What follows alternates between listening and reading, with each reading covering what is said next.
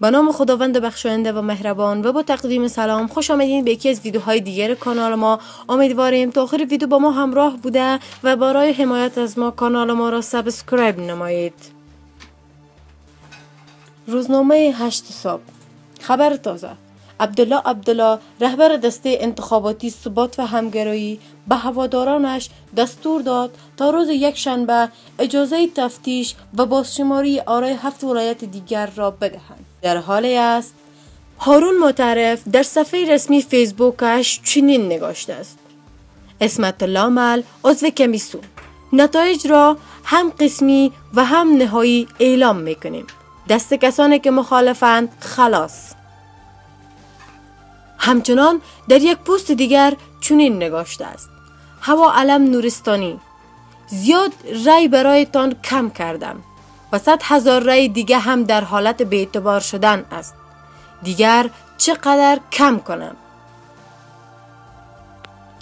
این در حال است نشست کمیسیون ها به دسته های انتخاباتی بی نتیجه پایان یافت هفته پیش کمیسیون مستقل انتخابات و دسته های انتخاباتی احزاب سیاسی نشستی را برای رسیدگی به چالش های انتخاباتی برگزار کردند که به نتیجه پایان یافت.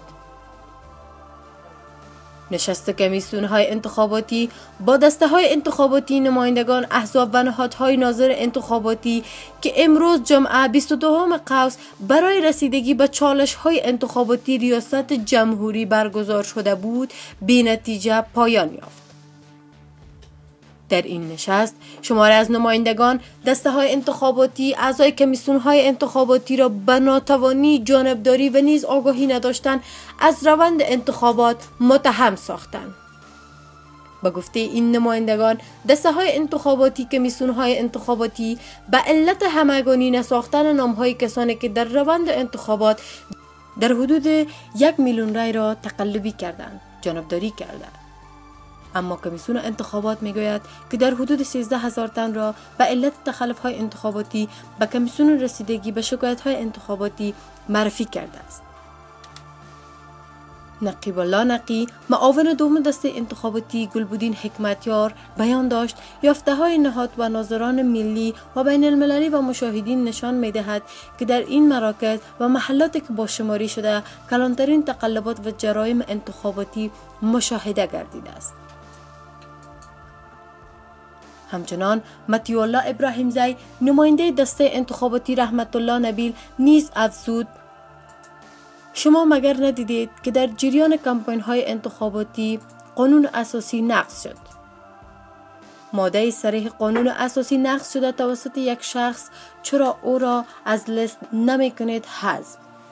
این انتقادها با واکنش تند و درگیری لفظی رئیس کمیسیون مستقل انتخابات با برخ از نمایندگان دسته های انتخاباتی روبرو شد. هوا علم نورستانی تاکید کرد که نتایج نخستین انتخابات رو به زودی اعلام خواهند کرد. کاری که از سوی یکی دیگر از اعضای کمیسیون مستقل انتخابات خلاف قانون دانسته می شود. بانو نورستانی در این نشست گفت اینجا ما توهین می شویم.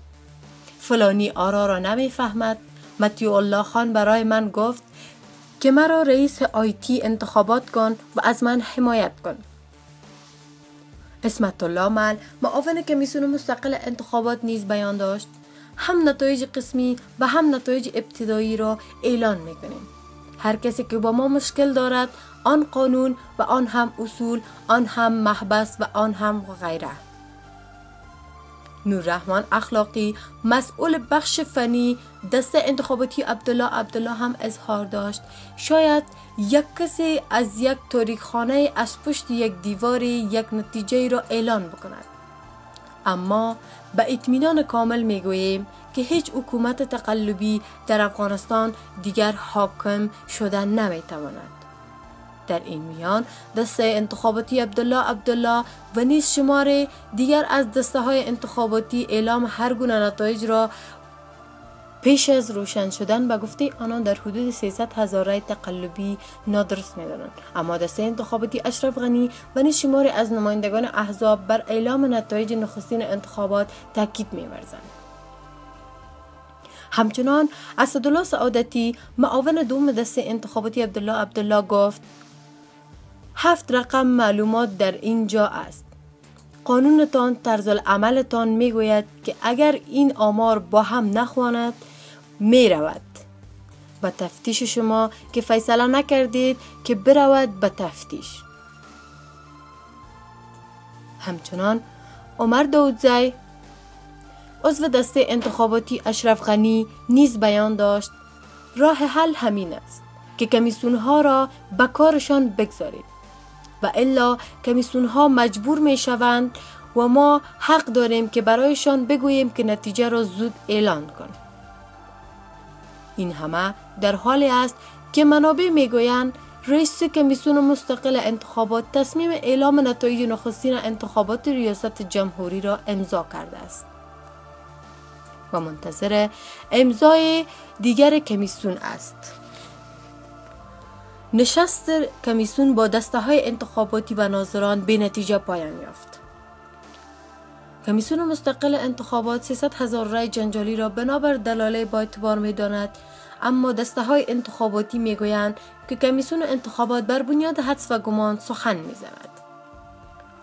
نشست مشترک کمیسیون مستقل انتخابات دسته های انتخاباتی و نهادهای ناظر انتخابات که روز یکشنبه 17 قوس برای دریافت راه حل به چالش های انتخاباتی در کمیسیون مستقل انتخابات برگزار شده بود به نتیجه پایان یافت.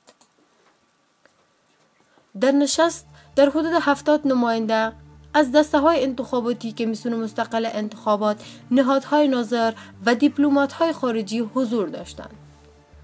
یکی از موضوعات اصلی نشست روز بحث درباره اختلاف ها بر سر 300 هزار رای جنجالی بود.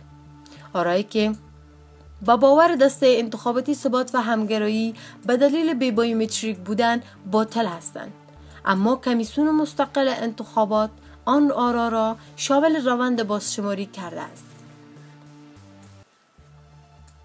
همچنان بحث درباره بیش از 137 هزار رای که به گفته کمیسیون مستقل انتخابات از دستگاه های احتیاطی ثبت شدند بیش از 102 هزار رای که بیش یا پس از روز انتخابات ثبت شدند و نیز 2400 رای جنجالی دیگر از موضوع دیگر این نشست بود.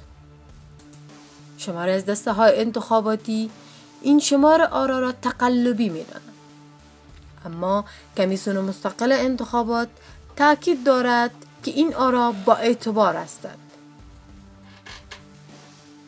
محمد حنیف دانشیار از کمیسیون مستقل انتخابات در این باره گفت ما مجبور هستیم در یک چارچوب حقوقی از قبل تعیین شده کار کنیم. ممکن است نظریات حالا پیدا شود که در بهبود انتخابات باشد. اما در این مقطع زمانی ممکن نیست که نظریات جدید را ما شامل پروسه انتخاباتی بسازیم. همچنان شماری از دسته های انتخاباتی کمیسیون مستقل انتخابات را به نقض قانون انتخابات متهم کردند. این نشست با تنش های لفظی بیان اعضای کمیسیون و شمار از نمایندگان نامزدان انتخابات همراه شد. و سرانجام دسته انتخاباتی ثبات و همگرایی نشست را ترک کردند.